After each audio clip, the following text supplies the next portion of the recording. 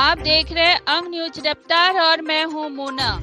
सदर अस्पताल के हरकत से परेशान दंपत्ति न्याय के लिए पहुँचे आयुक्त कार्यालय। भागलपुर के सदर अस्पताल में इलाज के दौरान हुई गड़बड़ी को लेकर एक दंपत्ति ने भागलपुर के आयुक्त दया निधि पांडे के कार्यालय अपनी गुहार लगाने पहुँचे।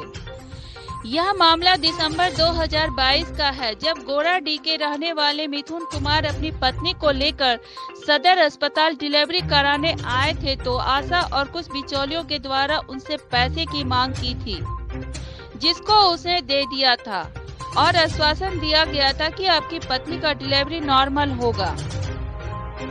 जिसकी शिकायत सिविल सर्जन से भी की थी और सिविल सर्जन ने संज्ञान लेते हुए मिथुन कुमार को पैसा वापस कर दिया था।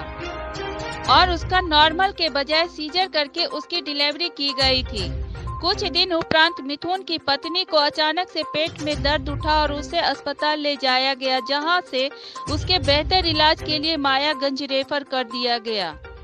मिथुन ने बताया कि बिचौलियों का शिकायत मैंने सिविल सर्जन के साथ साथ जिला अधिकारी को भी किया था जिसके बाद जिला अधिकारी ने इसका संज्ञान लिया था।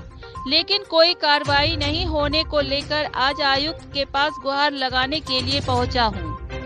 कमिश्नर साहब के पास आए थे सर। हम वही सदर अस्पताल में हमारे साथ गलत किया था डॉक्टर लोग। क्या गलत हुआ? गलत हुआ था यही कि 19 12 21 को जब हम गर्भवती थी मेरी पत्नी तो सदर अस्पताल लेके आए उनको तो आशा भी साथ में आया था। एक हज़ार रुपया आशा हमसे लिया था भर्ती के समय, बोला सलाइंस चराएँगे तो हम नहीं जानते थे, हमने दे दिए। सुबह फिर बोला, तीन सौ रुपया दो। तो सुई लाएँगे तो वो भी दिए। जब नहीं सुई दिया, नहीं सलाइंस उसको दिया था, एक सुई रात में दिया था, बोला, मुँह खुलने का दे रहे हैं, हम भी वहाँ पर थे।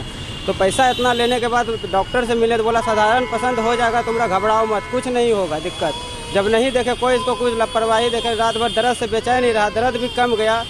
तो कुछ नहीं इसको जब दिया तो हम डायरेक्ट सी एस साहब को बोले जाके सी एस साहब देखिए, मेरा पत्नी का ऐसे ऐसे पैसा भी लिया है। तो सी एस साहब आए, मुझे पैसा लौटवा दिए टोटल आशा से।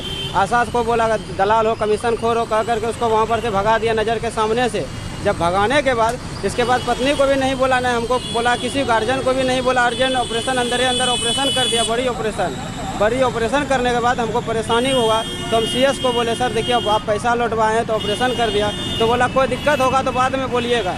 दिक्कत यही बाद में, इसको पेट में दर्द होने लगा, पूरा गंभीर तरह से दर्द होने लगा। तो डॉक्टर से भी मिले सदर अस्पताल का।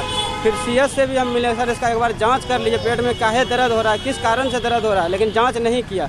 तब मैं जाँच जब नहीं किया बार बार पेट में दर्द होता था, सर, हम बेचैनी हो जाते थे, कोई रोज़गार हमारे पास नहीं था।